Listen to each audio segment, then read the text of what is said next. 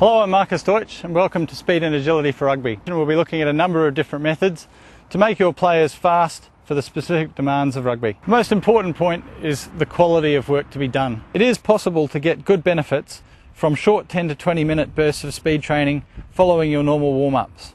The key to acceleration drills is to ensure that athletes are taking small, fast steps in acceleration and not making the most key mistake that most players make overstriding.